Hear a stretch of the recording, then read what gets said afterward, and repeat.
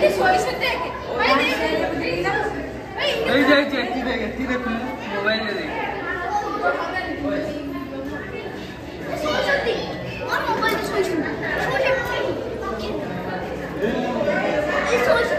mobile